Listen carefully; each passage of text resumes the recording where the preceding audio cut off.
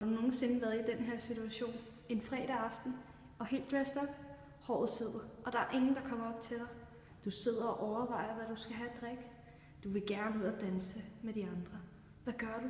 Du bestiller en helt ny, frisk sommersby, og du får en stærk træng til at slå dig løs sammen med de andre. Så nyd sommeren med Sommersby.